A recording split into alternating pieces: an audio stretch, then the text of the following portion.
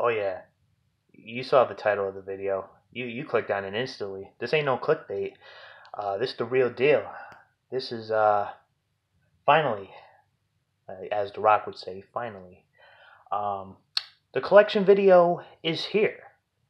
What is up, you guys? Hailing from the East, it is your boy Dan the Beast 94 coming back at you with what I just stated, and as you can see in the title of the video, collection video. So, let's get to it, shall we? Boom. So, we have the uh, autograph pops here, which has uh, Sergeant Slaughter and Kurt Angle with a certificate of authenticity for each of them.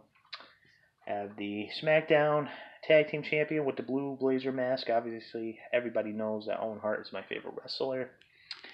Have the 2K19 exclusive Ric Flair Funko Pop when you ordered the Legends Edition, pre-ordered the Legends Edition, and you also got this piece of robe, whether it was pink or purple, and you also got a replica Hall of Fame ring, which I have no idea where the hell that is.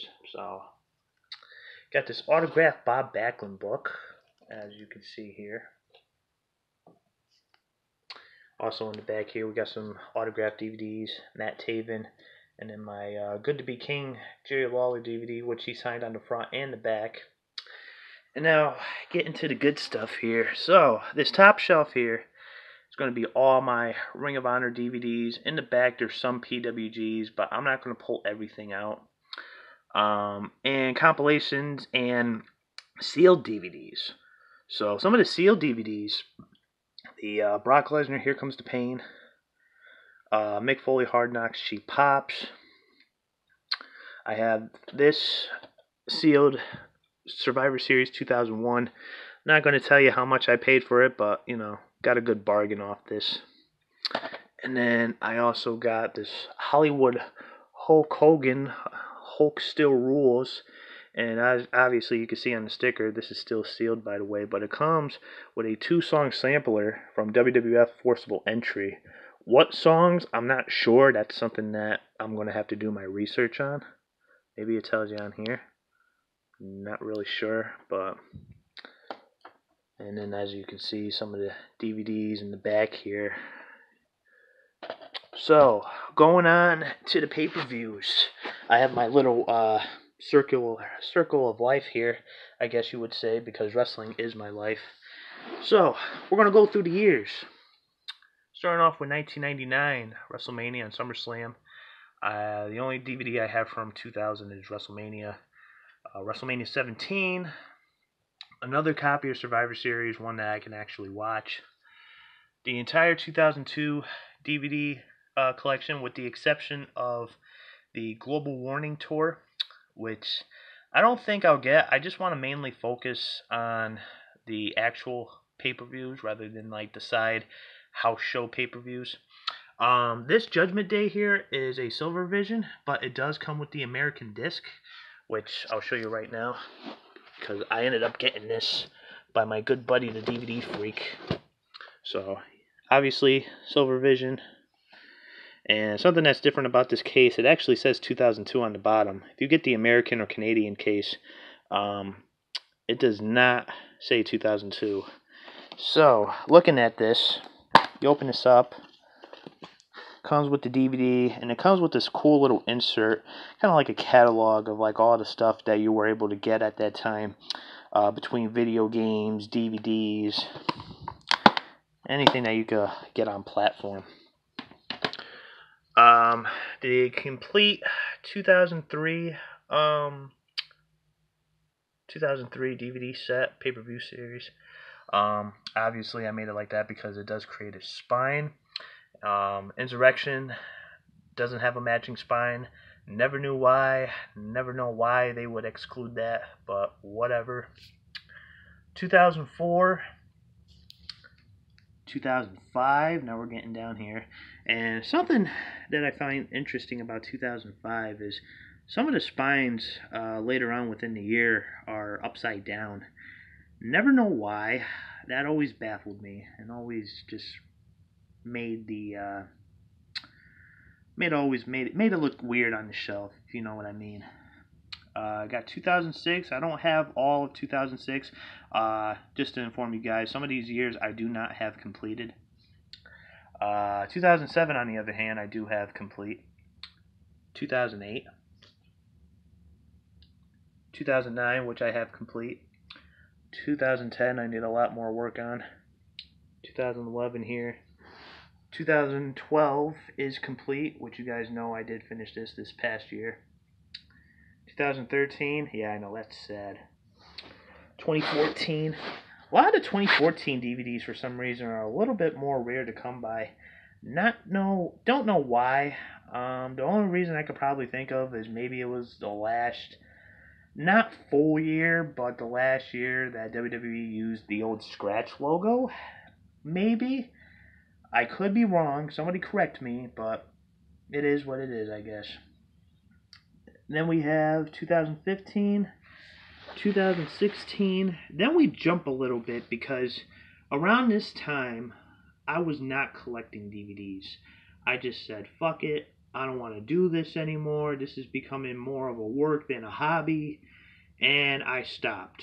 But then, as soon as I started YouTube, I was like, all right, let's get back on the wagon. So I got two from 2018, including the Walmart um, exclusive uh, Evolution DVD from 2018.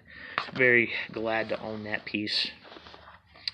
Uh, 2019 and then 2020 so far. Uh, all I need is TLC, which should be out next month. And that's pretty much it for the 2020s. As you can see, back here is the WrestleMania, uh, WWF WrestleMania box set, uh, VHS box set, uh, the Legacy, that contains WrestleManias 1 through 14. Uh, if you guys want to see reviews on that, I do have a playlist here on my channel, as I did review all 14. So go ahead and check that out, guys. Back here, uh, I have the Edge uh, fan edition of uh, Edge Decade of Decadence, which came with like a hat, uh, a button, um, and I think like an insert card with um, a piece, uh, like a piece of like ring worn, uh, like shirt or part of the ring. I'm not really sure. These are the Blu-rays that I have. So um, some of them do connect with the years that I have, like 2020 with uh, WrestleMania, uh, WrestleMania uh, 34, WrestleMania 35. I have the Royal Rumble from 2010, WrestleMania 28, 26, uh, 32, and that's pretty much it for now. And then in the back here and in the front, we have some miscellaneous DVDs slash TNA DVDs.